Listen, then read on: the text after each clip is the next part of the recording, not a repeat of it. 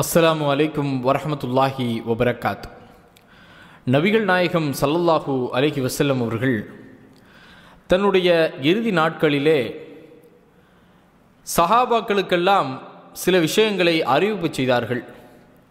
அதில் ஏராளமான அறிவிப்புகள் இருந்தாலும் இப்பொழுது நாம் தொழுகையிலே ருக்குவு மற்றும் சஜிதாவில் செய்யக்கூடிய சில விஷயங்களையும் நபிகள் நாயகம் சல்லல்லாஹு அலஹி வஸ்லம் அவர்கள் சஹாபாக்களுக்கு மத்தியிலே கூறினார்கள் இந்த சம்பவத்தின் அன்று அபுபக்கர் ரலிகுல்லாஹு அன்பு அவர்களெல்லாம் அங்கே இருந்தார்கள்.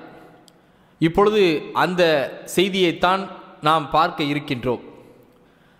இப்னு அப்பாஸ் ரலிகுல்லாஹு அன்பு அவர்கள் அறிவிக்கின்றார்கள். நபிகள் நாயகம் சல்லுல்லாஹு அலிவஸ்லம் அவர்கள் கூறினார்கள் மக்களே அறிந்து கொள்ளுங்கள்.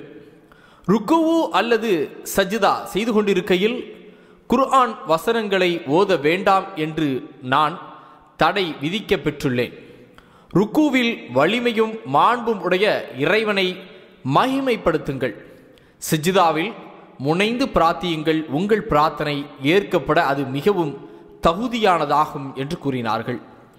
ஆகவே ருக்கு அண்டு சஜிதா இந்த இரண்டு சுன்னத்துகளில் நாம் குர்ஆன் வசனங்கள் ஓதாமல் ருக்குவிலே அல்லாவை மகிமைப்படுத்த வேண்டும் அல்லாவை புகழ வேண்டும்.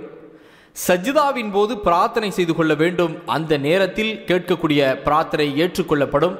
அந்த நேரத்தில் இறைவனுக்கும் அடியானுக்கும் எந்த ஒரு மறைவும் இல்லை என்று நபிகள் நாயகம் சல்லல்லாஹ் அலைவசலம் அவர்கள் சொல்லியிருக்கக்கூடிய ஹதீசுகள் எல்லாம் இருக்கின்றது. அருமை சகோதர சகோதரிகளே தொடர்ந்து மார்க்கத்தினுடைய ஹதீஸுகளை தெரிந்து கொள்ளுவதற்கு இங்கே இருக்கக்கூடிய சப்ஸ்கிரைப் என்கின்ற அந்த பட்டனை நீங்கள் அழுத்தி பக்கத்திலே வரக்கூடிய பெல் ஐக்கானை கிளிக் செய்து கொள்ளுங்கள். நாங்கள் அப்லோட் செய்யக்கூடிய அனைத்து வீடியோவும் உடனுக்குடன் உங்கள் பார்வைக்கு